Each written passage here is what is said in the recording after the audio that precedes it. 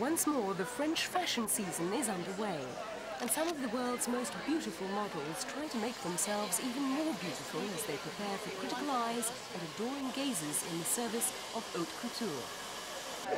No, those times January in Paris means original creations for spring and summer are unveiled by the local fashion houses for the millions who can't and the few who can afford to buy them.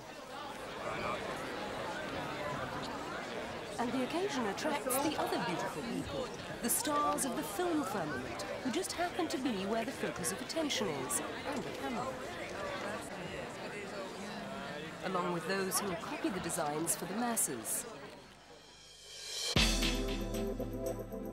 For Chanel, designer Karl Lagerfeld was expected to introduce something provocative, and he didn't disappoint. Test for the wearers to negotiate the catwalk, this section drew criticism that he's bored and just ridiculing women. The controversial couturier denied this. He said the design flatters the narcissism of the famous models who could be recognized by the very way they move or walk. But really serious protest came when Lagerfeld used a verse from the Holy Quran as a motif.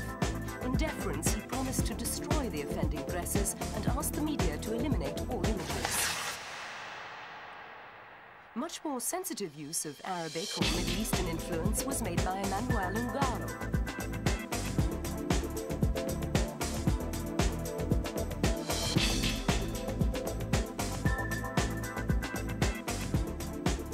Some writers, referring to the whispers of swirling transparent fabrics, said the hot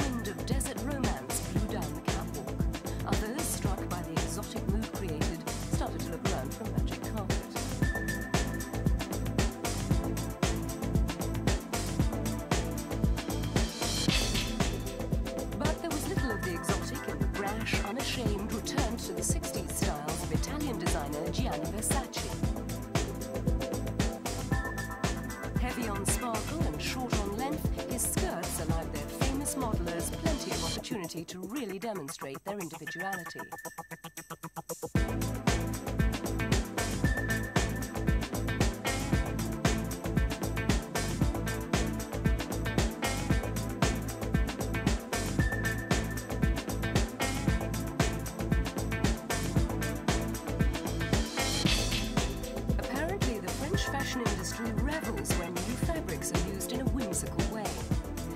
Valentino won applause for his use of super sheer, strong cloth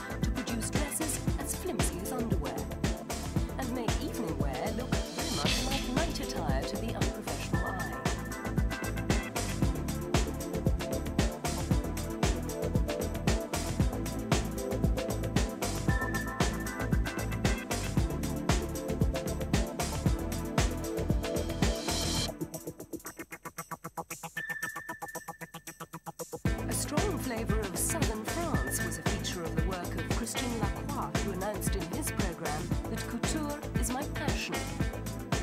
$30,000 and more for one of his dresses, only a select few can share that passion.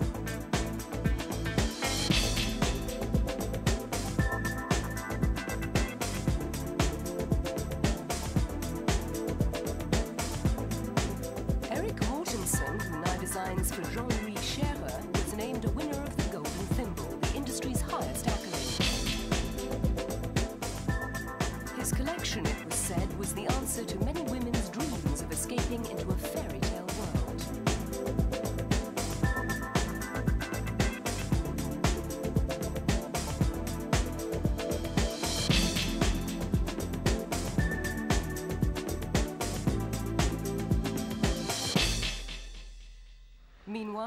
down-to-earth atmosphere, five supermodels prepare to be photographed naked for an anti-fur advertisement. We are human beings, and we we are we do own the rights of our own bodies, and we don't we're not mannequins, so we do have a little say in what we want to wear.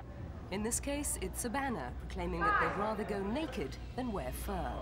A sentiment shared by many who were on hand to witness their offer to be photographed free for the cause.